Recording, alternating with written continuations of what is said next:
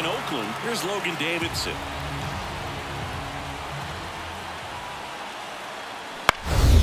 That one lifted to left.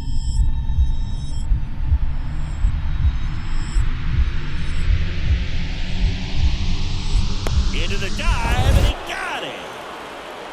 Up next, the first Ryan. So a great diving catch, and that was only possible because of the route he took to get there, right, Chris? Yeah, StatCast shows us just how efficient that route to the ball was. In fact, that's about as good as it gets. Pretty much. A And welcome back to the ballpark.